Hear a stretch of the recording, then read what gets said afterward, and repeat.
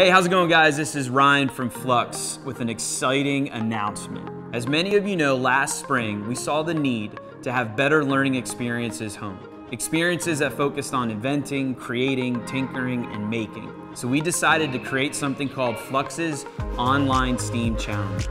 These STEAM challenges included activities such as inventing and designing a new invention, building a parachute, creating art, and even trying to figure out a new way to grow plants indoors.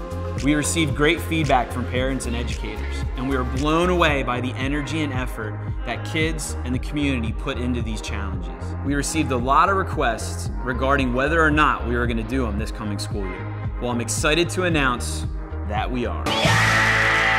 So starting September 14th, we are launching Flux's online STEAM Challenges Season 2. Do we? I love that. Do we call it season two? Season two. Here's a rundown of how the challenges are gonna work. Flux's online STEAM challenges are gonna be posted weekly.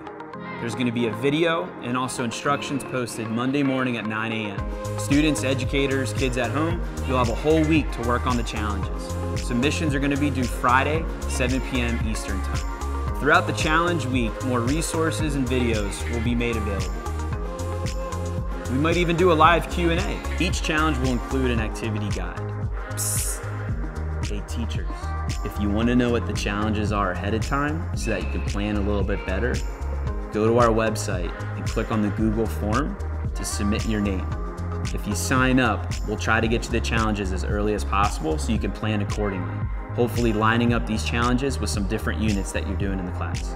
And if we haven't mentioned already, they're free. Head over to our website, sign up for our newsletter, and make sure that you subscribe to our YouTube channel. You can check us out at www.fluxspace.io. So again, more information will be posted. Just get ready for September 14th. We'll see you then. All right, that's it, guys. I feel like we have so much more time to hang out. Oh,